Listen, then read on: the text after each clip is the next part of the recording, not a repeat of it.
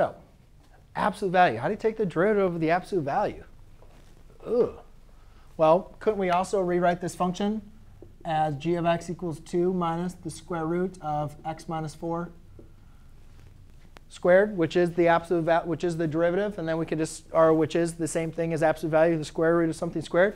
We could go ahead and find the derivative of this if we wanted to, but we really don't need to. It really is kind of like a waste of time because, ladies and gentlemen, we should know exactly what this graph looks like just based on transformations. Algebra 2 and precalculus helped us with this. If we just go ahead and rewrite this in our transformations form,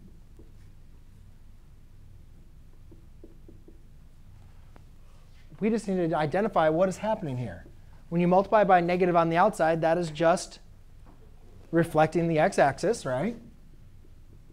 Okay, so we have reflect the x-axis. When I'm subtracting a 4 inside of the function, that is shifting to the right 4. And then what I'm adding to on the outside, that's up 2.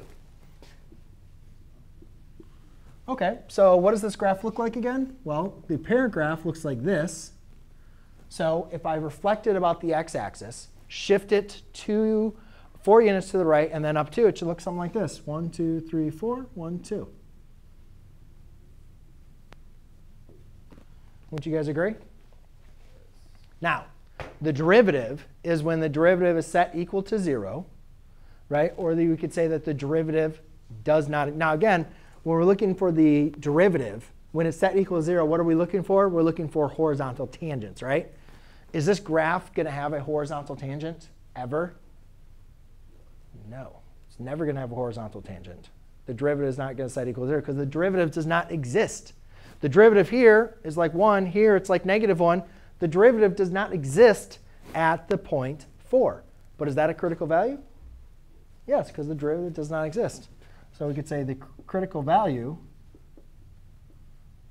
occurs at x equals 4.